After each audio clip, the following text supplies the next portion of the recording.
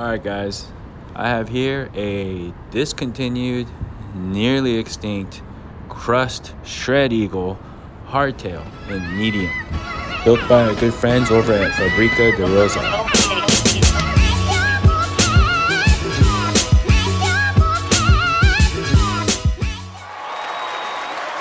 Summon your eagle powers.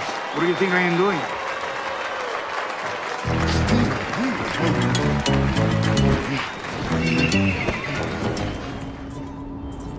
I was fortunate enough to come across this rare find and snatched it up faster than you could say. What a queen! It's stated as having a 67 degree head tube angle according to Bike Insights with a BB drop of 46 millimeters and has a zippy chainstay length of 420 millimeters. This frame was originally designed for a 120 millimeter fork and 26 by 3.0 plus tires but I have it here built up as a 650B running a 140 millimeter travel fork and I'm able to run up to 2.8 inch tires which I have had on before.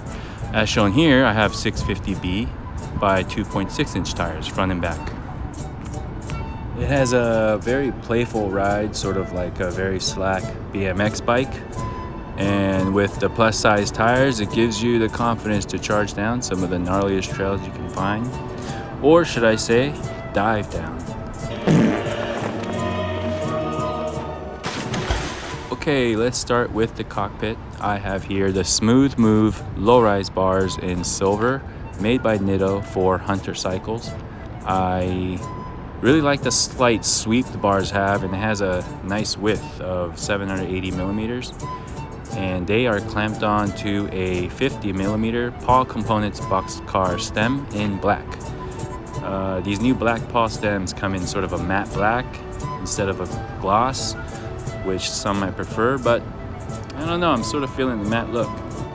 For the grips, I went with my usual go-to SC uh, chunky grips in black.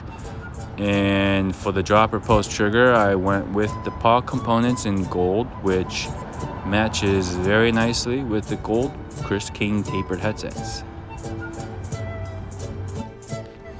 For the drivetrain and brakes, I pulled out some goodies from my parts bin and I put together a little combo of SRAM Eagle GX shifters paired with an X01 rear derailleur and a GX 12-speed 10 by 50 tooth cassette. Uh, I lost the derailleur bolt for this shifter, so I went shopping around and I found a gold XX1 derailleur and I said, all right, why not? You can never have too much gold, am I right?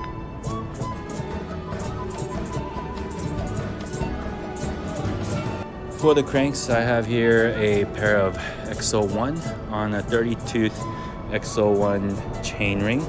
And for the pedals, I went with uh, locally made Yoshimura Chileo in large with gold pins and their HQ and factory is located just a few blocks from my house here in Chino. So I was able to go and pick these up right off the factory floor. Well, sort of. For the fork and dropper posts, I went with Fox. This is a Fox Factory 34 with 140 millimeters of travel. And the seat post is a Fox Transfer dropper with 175 millimeters of travel. The saddle is a cambium C17 with cutout for that added cush.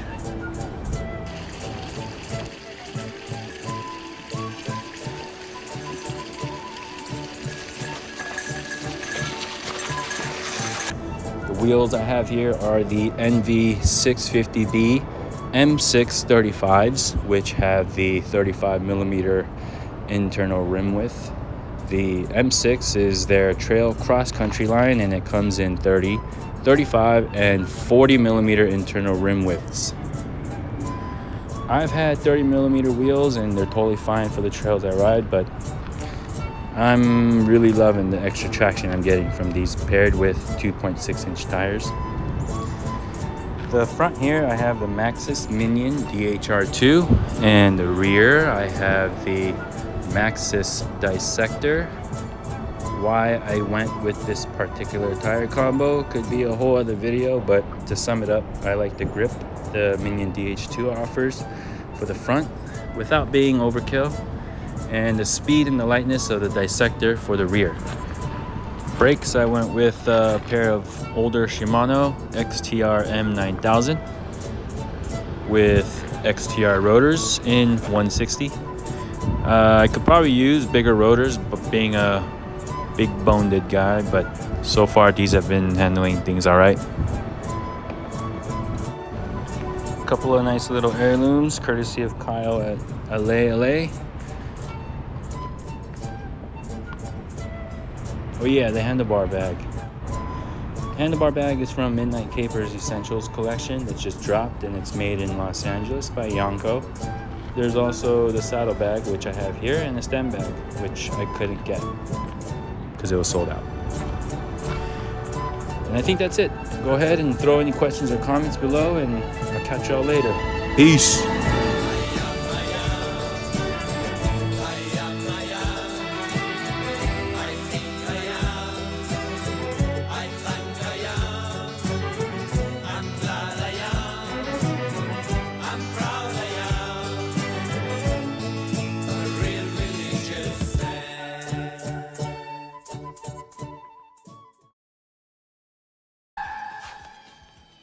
Those eggs were a lie, Steven. A lie! They give me no eagle powers! They give me no nutrients! Sorry.